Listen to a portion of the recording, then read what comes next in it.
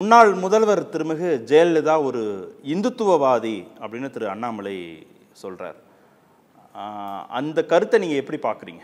காஞ்சி பெரியவர் ஒரு இந்துத்துவாதி சாதாரண இந்துத்துவவாதி அல்ல. காஞ்சி பெரியவர் அந்த இந்துத்துவாவை தென்னகத்தில் ஏன் அகில பாரதத்திலே கட்டி காத்தவர். ஆனால் அம்மா ஒரு இந்துத்துவவாதியாக இருந்திருந்தால் குற்றம் செய்து விட்டார்கள் என்ற காரணத்திற்காக காஞ்சி மடத்திற்குள் காவல்துறை அனுப்பி காஞ்சி பெரியவரையே கைது செய்யவில்லையா? நடவடிக்கை எடுக்கவில்லையா? அது தவறான ஒன்று தவறான கருத்து. அம்மாவை பொறுத்த வரைக்கும் அவர் பள்ளியிலே படித்தது சர்ச் கான்வ கான்வெண்ட் அம்மாவை பொறுத்த வரைக்கும் அவர் ஒரு கிறிஸ்துவராகவே இருந்தார் படிக்கிற காலத்தில். இஸ்லாமிய பத்து மக்கள் மீது ஒரு பெரிய பற்றுள்ளவர் என்ற காரணத்தால் ஒவ்வொரு இஸ்லாமிய நிகழ்ச்சிகளுக்கும் நோன்புகளுக்கும் முக்காடு போட்டு கொண்டு சென்று அவர்கள் பங்கேற்ற வரலாறுகளை எல்லாம் எல்லாருக்கும் தெரியும். மக்களும் அறிவார்கள். அம்மாவை பொறுத்த வரைக்கும் ஒரு பெரிய சீர்திருத்தவாதி. அவர்களை பொறுத்த வரைக்கும் ஜாதிக்கு அப்பாற்பட்டவர் மதத்துக்கு அப்பாற்பட்டவர் எம்மதமும் சம்மதமே என்று எண்ணக்கூடிய தந்தை பெரியாரின் கொள்கைக்கு சொந்தக்காரர் தான் புரட்சித் தலைவி அம்மா. ஏன் திரு அண்ணாமலை அப்ப அந்த விமர்சனத்தை வைப்பதாக நீங்க நினைக்கிறீங்க? அவருக்கு அரிச்சு தமிழக அரசியலை பற்றி அரிச்சுவடி கூட தெரியாத நிலை இப்போ தான் கற்றுக்கிட்டு இருக்கார் அரிச்சுவடி.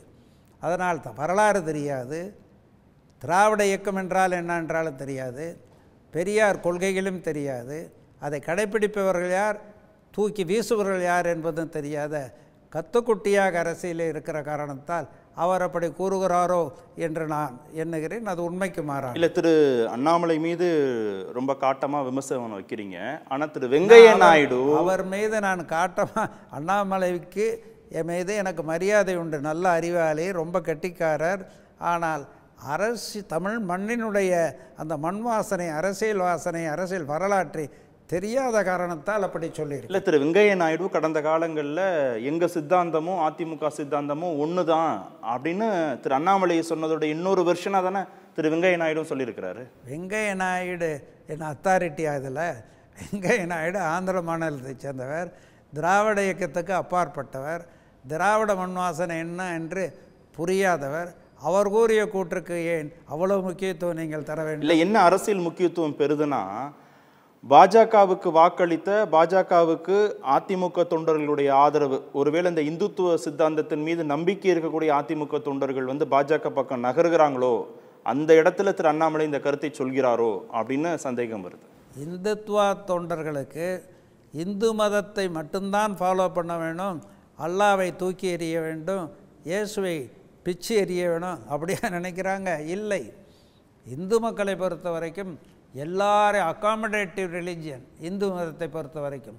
அந்த மோடி ஆர்எஸ்எஸ் அமித்ஷா அவர்களுடைய அந்த இந்துத்துவா தான் முஸ்லீம்கள்லாம் பூமிக்குள்ளே போய் மண்ணோட மண்ணாக போயிடணும் கிறிஸ்தவர்கள்லாம் கடலுக்குள்ள மூழ்கி செத்து போயிடணும் அந்த இன மதமே இருக்கக்கூடாது என்றுங்கிற வெறித்தனமிக்க மதவாதிகள் இந்துத்துவவாதிகள் பிஜேபி தானே ஒழிய ஆர்எஸ்எஸ் தானே ஒழிய எந்த காலத்திலும் இந்துக்கள் இல்லை இந்தியாவிலே இந்துக்கள் இல்லை. அப்படி இருந்தால் இந்தியாவில் இந்துக்கள் இவ்வளோ ஓட்டு போடாமல் இருந்தாங்கன்னா எப்படி இந்தியா கூட்டணி அத்தனை இடத்த வந்தது? தனி மெஜாரிட்டியே வாங்க முடியாமல் தத்தளித்து ஒப்பாரி வைத்து கொண்டிருக்கிறாரே மோடி அந்த நிலையை இந்துக்கள் தானே இந்து மதத்தை தழுவுகிற மக்களும் தானே உருவாக்கி இருக்கிறார் எனவே அதெல்லாம் தப்பான பதவியேற்ற நாள்ல அரசியலமைப்பு சட்டத்தை தான் தொட்டு வணங்கினார் பிரதமர் திரு நரேந்திர மோடி.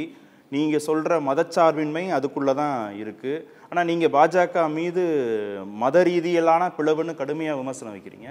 பொய்யை அடுக்கடுக்காக சொன்னால் உண்மையாக மாறிவிடும் என்ற தத்துவம் அந்த காலத்தில் கருணாநிதி சொல்லுவோம் இப்போ ஸ்டாலினை சொல்கிறோம் அவங்களையெல்லாம் மிஞ்சி மீறி நான் செயல்படுவேன் என்று மோதி செய்து கொண்டிருக்கிறார். பொய்யை பேசுகிறார் உண்மையை மறைக்கிறார்.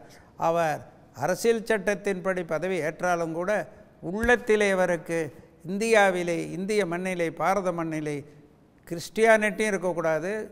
அதே போல் புத்த மதமும் இருக்கக்கூடாது. இஸ்லாமிய மதம் இருக்கக்கூடாது என்ற வெறிபிடித்த உணர்வுக்கு சொந்தக்காரர் மக்களை ஏமாற்றுவதற்கு பொய்களை அடிக்கடிக்கு சொல்லுகிறார். மக்கள் அதை ஏற்க ஏற்காததுக்கு எடுத்துக்காட்டுத்தான் ஆட்சியை தனியாட்சி அமைக்க முடியாமல் தத்தளித்து கொண்டு கூட்டாட்சி என்ற முறையிலே டெல்லியிலே மோடி தற்போது உட்கார்ந்து கொண்டிருக்கிறார். வரக்கூடிய சட்டமன்ற தேர்தலில் இருநூறு ப்ளஸ் அப்படின்ற ஒரு இலக்கை இப்போவே திரு ஸ்டாலின் தொடங்கி வச்சிருக்கிறாரு. இருநூறு சட்டமன்ற தொகுதிகளில் அடையணும் அப்படின்றது திமுக கூட்டணியின் இலக்காக இருக்கு. எப்படி சமாளிக்க அவர்- அவருடைய பணத்தை அவருடைய ரவுடித்தனத்தை அவருடைய அந்த பொய்மைகளை நம்பி இப்படி சொல்லுகிறார். அவ்வளவையும் தமிழக மக்கள் புறக்கணித்து விடுவார்கள் முறியடித்து விடுவார்கள் மண்ணை கவி விடுவார் ஸ்டாலின். ரெண்டாயிரத்தி இருபத்தாறு தேர்தலிலே. காங்கிரஸ் அவங்க பக்கம் இருக்கு இடதுசாரிகள் அவங்க பக்கம் இருக்காங்க விடுதலை சிறுத்தைகள் கட்சி அவங்க பக்கம் இருக்கிறாங்க. அவ்வளவு கூட்டணி பலமாக இருக்கு மக்கள் நீதி மையம் கூட இருக்கிறாங்க. இந்த தேர்தலில் உங்க பக்கம் யார் இருக்கா?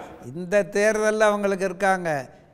சட்டமன்ற தேர்தலில் எப்படி எப்படி மாறுங்கிறது ஸ்டாலினுக்கும் தெரியாது உங்களுக்கும் தெரியாது. அப்போ கேட்குற கேள்வி சட்டமன்ற தேர்தலுக்கு உங்க பக்கம் வரணும்னா நீங்க நாடாளுமன்ற தேர்தலில் நிறைய வாக்குகள் வாங்கியிருந்தா வந்திருப்பாங்க. எங்ககிட்ட ஒரு பெரிய சக்தி இருக்குது கூட்டணி. அந்த கூட்டணி தான் மக்கள் கூட்டணி. எடப்பாடியாரை வைத்துக்கிற மக்கள் கூட்டணி வெற்றி பெறும். அவங்க தான் வாக்களிக்கலையே நாடாளுமன்ற தேர்தல்ல. அதெல்லாம் மாறிடுச்சுங்க. அந்த பணபலத்தையெல்லாம் உதறி தள்ளிட்டு ரவுடித்தனத்தை உதறி தள்ளிட்டு வர மக்கள் வீறு கொண்டு எழுகிறார்கள். எடப்பாடியார் பின்னையிலே பின்னாலே அந்த மக்கள் கூட்டணி ஒன்று சேர்ந்து அவரை முதலமைச்சராக்கும். ஸ்டாலின் எண்ணங்களை கனவுகளை தவிடுபடியாக்கும்.